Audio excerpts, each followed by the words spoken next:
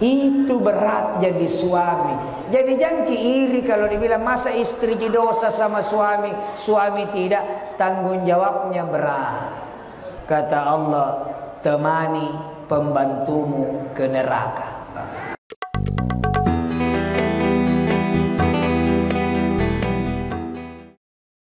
Ada suami rajin sholat istrinya rajin sholat, anaknya remaja masjid rajin sholat, pembantunya tidak sholat, ditanya sama Allah, eh kenapa pembantumu tidak sholat?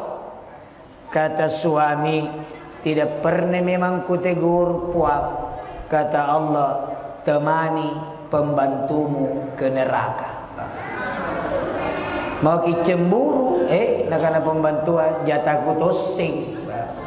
Tapi di neraka satu, suami rajin sholat, pembantu rajin sholat, istrinya rajin sholat, anaknya sabu-sabu, busa-busa tidak sholat.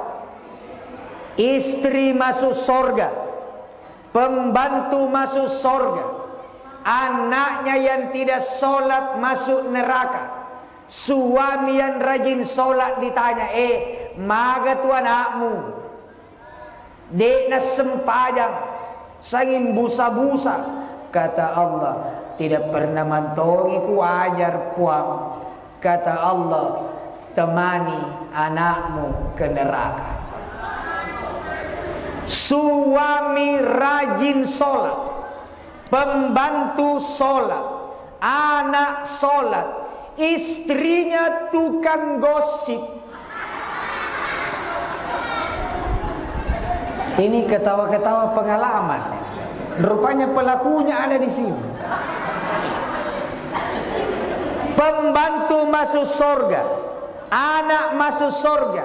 Istri karena tukang gosip masuk neraka. Suami ditanya, kenapa istrimu suka gosip? Kata suaminya, tidak pernah memang kumarahi. Kata Allah, berduaan dengan istrimu ke neraka. Coba. Pembantu rajin sholat. Anak rajin sholat Istri anggota majelis taklim rajin sholat. Suaminya tidak sholat.